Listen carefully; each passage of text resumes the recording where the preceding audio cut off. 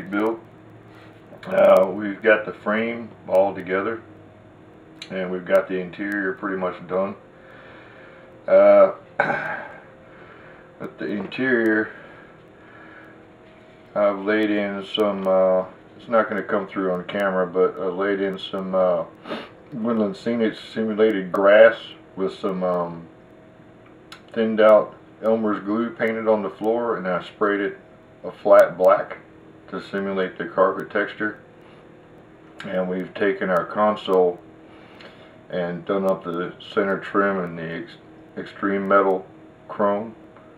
And I've since grafted in the shifter bezel automatic shifter from the Dart GTS kit. And we've mounted up our Grant style steering wheel in here that Blade has in his car and uh, we've also gone in here I'm not going to show it right now I'm going to wait until this thing's done to throw all that out. But uh, we've got the uh, the gauge panel lit up in the dashboard which I've done that with some uh, some green 1.8 millimeter LEDs that have been bedded behind the dash.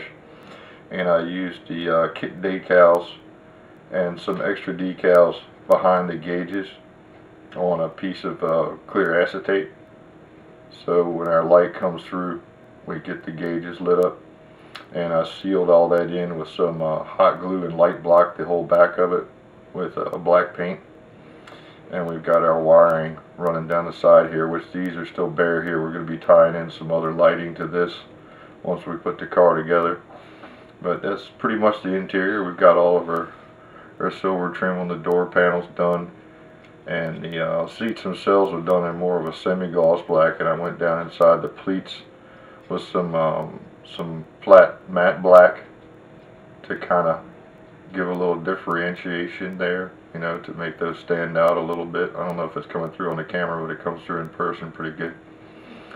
And uh, in the frame, we already seen the engine before. We've got the engine mounted up now, which uh, none of the headers would work. The uh, headers that came with this kit were for Hemi, and the angles were just way off, so I decided to just go with the stock exhaust manifolds. And I wasn't too worried about it too much because um, from what I remember they don't even really show the engine in the movie what's in the car but uh, from some research there was basically a plain Jane 383 so this is more than adequate. And uh, we've got the the bottom looking pretty good uh, took the mufflers and wrapped those with some uh, chrome foil tape and, and burnished them with some steel wool to make them kind of look like a stainless steel buffed aluminum kind of looking deal. And we've got the exhaust itself done up in a real dark grayish steel. And uh, we took the uh, rear end cover and did that in the uh, extreme metal chrome. And we've got our, our rear shocks done up in white. It looked like the Gabriel Hijackers. And the um, the kit supplied risers for the rear end gave it just about the right kind of rake like Blade's car has. And we've also put on our centerline drag wheels and tires, which that was a little crazy. I had to do a little work there to get those to work right because the rims were kind of deep and the kit backing plates didn't want to work out right so I had to take a lot off of those to get everything to line up right but we're we're looking pretty good now with that. And everything's obviously fitting together pretty good. And also we've got our we've got our rear tail panel done up. I've done the the chrome trim detail on there. And we've got our tail lights put in the little chrome buckets with the red lenses. And I've also gone back in here and mounted up some uh, 3 millimeter warm white LEDs behind them. Some 470 ohm resistors and we've got 30 gauge wire coming off of here which that's going to tie in over here when we put the car together. And those are going to light up with the with the dashboard and the rest of the car. And we've also got our got our grill pretty much done up. I've gone in and done the, the detail painting. And we've got our UV vampire killer lights mounted in here. We've got those all working with the lenses in there and I've frosted behind those with a light coat of, of white with a little tinge of purple in there. And we've got the uh, we got four SMDs behind here, 3020 SMDs to throw out our light from those, and they're they're looking pretty good. And uh, I don't know. A lot of times I see a lot of chargers. Everybody misses painting this this inner border here. That's supposed to be kind of a uh, like a grayish color, like a grayish argent color, and then the grill itself is, is black with the silver trim around it. So we've got him looking pretty good. And uh, last thing, uh, we've got the body done up Blade Trinity style, which from what I remember the car in Trinity was more of a more of a flat. This isn't totally flat, this is a matte some it's actually a matte with a little bit of gloss thrown in but it pretty much I think it's a good simulation of the way the car looked in Trinity.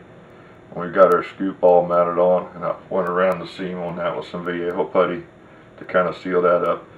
And uh, we've also we had a Chrysler Performance badge here that got taken off and the rest of the emblems weren't on the car except for back here in the tail panel. We had to take that off because I noticed on the car it's been pretty much dechromed you know like from for emblems and whatnot you know. You still have your window trim but the emblems were all taken off. And uh, I guess that's about it right now for the blade car until we get a little further. We should shouldn't be too long before we get this thing done there's there's not a whole lot left to do I'm still waiting on one one thing we need for the car, which it did not come with, which is some hood pins for the for the lift-off hood. So I've got those ordered, and they should be here hopefully in short order. So that's the only real holdup right now. and we also have a blade figure that's going to go with the car. So that'll kind of add to the add to the pop of the whole deal. And uh, real quick here, we got this guy which I showed in one of my other videos. Is one of the kits that was given to me to build up here at the shop. And uh, I got some friends who know who they are uh, that I hang out with on Uvu doing some building and stuff.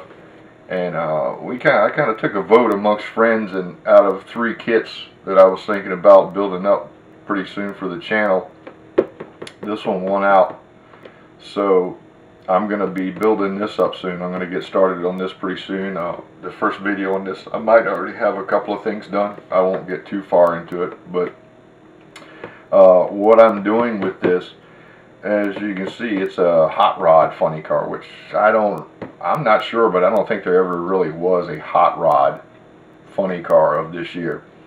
But uh, MPC also has a, um, a car that was a real car, which is the Connie Kalitta Bounty Hunter.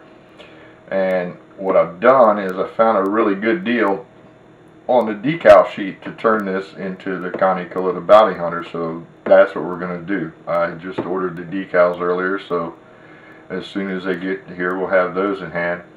And I'm already getting some reference pictures together of how the frame and, and his car generally looks. So we're going to be building this up as the Bounty Hunter. And uh, I guess for now, that's about it. Um, I can't really say what's going to be next. It'll either be the beginning of the Bounty Hunter or it'll be another update on Blade. So uh, I guess stay tuned for whatever pops up next and uh, take care and peace.